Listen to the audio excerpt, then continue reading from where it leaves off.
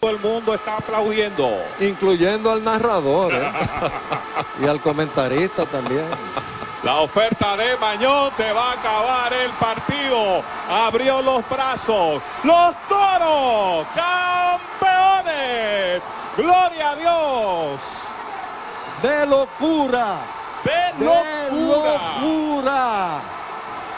Toros campeones invictos. Segundo campeonato en la existencia del equipo de la Romana y de gran parte del este. ¡Qué momento! El público imposible detenerlo. Se han tirado. Juan Julio, siempre he dicho que las fiestas de los podres son las fiestas más escandalosas y las la fiestas más ruidosas.